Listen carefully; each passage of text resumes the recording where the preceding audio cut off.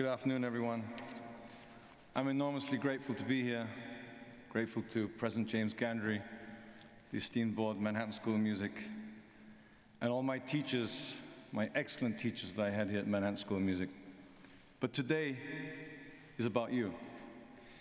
And although I'm genuinely honored to stand before all you graduates here, to be perfectly honest, I'd rather be among you. It's just a lot more fun to be where you are. As challenging as it may be to be a student or a graduate with all your fears and ambitions about the future, there will never be another time like right now. And I will tell you why.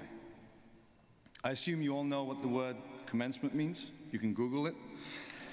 For some of you, today will feel like the end of a journey, whether you failed one of your midterm exams, had to take a class again, gloriously screwed up your graduation recital.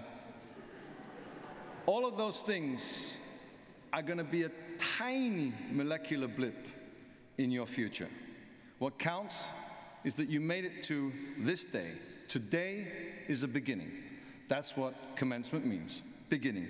But every day is a new beginning. Every day is a choice. Every day is a chance to set new intentions, try new things, and start all over. Those pieces of paper that you're going to receive today, some of them are going to hang on a wall, some of them are going to collect dust in an attic. But they're all exactly identical, except for one thing your name. You are unique. And you can create your own unique path, your own genre, your own niche. You can create your own artistic vision. Be yourself. Everyone else is taken.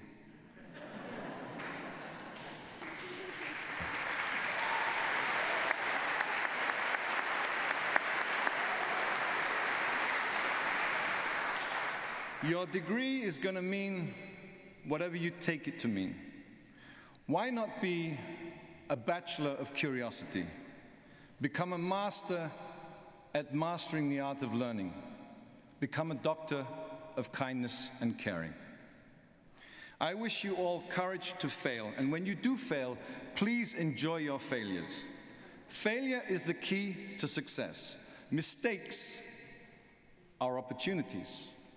Mistakes are beautiful opportunities to find solutions, do something better than you had planned.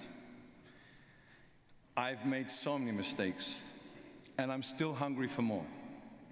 I wish each and every one of you to go and create your own luck, to stay open and creative, keep the channel open, as Graciela said, and when you're in doubt, you only need to remember one thing. Now is the best time. Say it to yourself. Now is the best time. Now is the only time. In fact, now is your time. Go for it. Thank you.